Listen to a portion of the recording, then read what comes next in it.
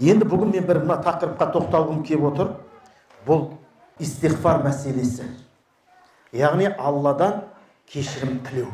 Астағфирулла деп алладан кешірім тілеу. Бізді қорғап тұрған екі нәрсе бар. Осыны естен шығармаңыздар. Бізді не істеп тұрған? Қорғап тұрған. Бірі пайғамбарымыз саллаллаху алейхи екіншісі истиғфар. Сондықтан алла субхана тағала құрани кәрімде айтады. Сендердің араларыңда пайғамбар тұрады екен сондай ақ сендердің араларыңда алладан кешірім сұрайтын истиғфар айтушылар болады екен сендерге алланың азабы түспейді дейді сондықтан бұл дүниеде қанша арсыздық болса да арсыздық болса да соны қорғап тұрған алланың азабын түсіп кетуінен осы екі нәрсе. Пайғамбарымыз саллаллаху алейхи вассалам сосын мұсылман момындардың айтқан истиғфары. Қараңыздар сондықтан біз әр қашан не істеуіміз керек? Истиғфар айтып алладан кешірім тілеп жүруіміз керек. Бұл кішкентай нәрсе емес. Бұл үлкен нәрсе үлкен нәрсе пайғамбарымыз саллаллаху алейхи вассалам айтады мен күніне бір хадисте жетпіс мәрте бір хадисте жүз мәрте истиғфар айтамын дейді истиғфар айтамын дейді пайғамбарымызда күнә жоқ сондықтан біз әрқашан истиғфар не істеуіміз керек? Айтуымыз керек. Жаңағы хасан басриға бір адам келген ғой. Жауын шашын жоқ. Жер қурап кетті деп.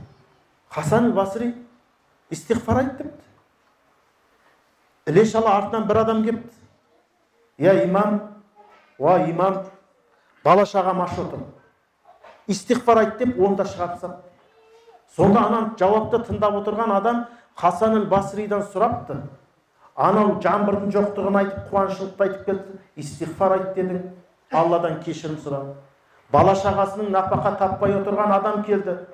Оған истиғфар сұрап келді. Деген кезде хасан әл басри радиаллаху анху мына аятты оқыған.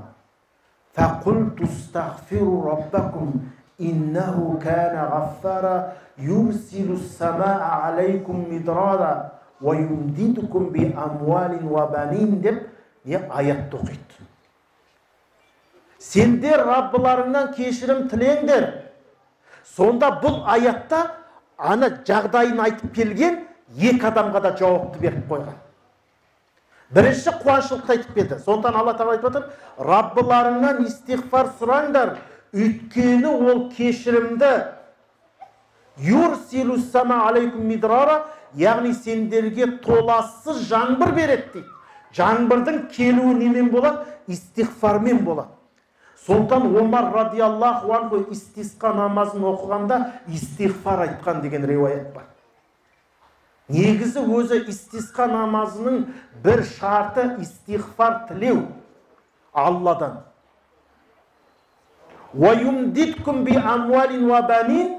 екіншісі не деді? Алла тағала сенің бала шағаңа мал жаныңа береке береді деді. Сен аш отырсың ба? Истиғфар айт жауын шашын жоқ па? Истиғфар айт алла береді бұл құдайдың сөзі менің сөзім емес егер сендерге толассыз жаңбыр керек болса раббыларыңнан кешірім сұра дейді тапқан дүниеңе береке кірсін десе истиғфар айт дейді. Құранның сөзі